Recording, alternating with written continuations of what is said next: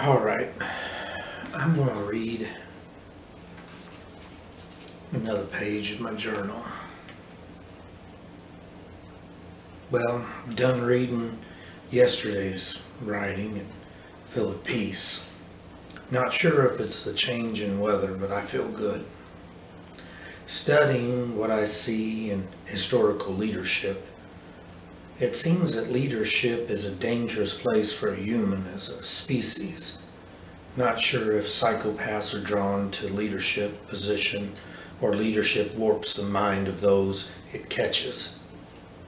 I just see a lot of mental disorders in leadership roles throughout history.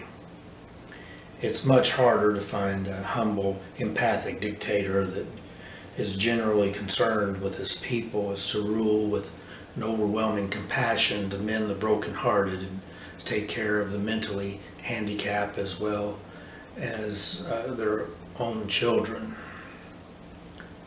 And at the same time, protect us from dangerous people without compromising love. Looking for a humble, empathic king. Bye.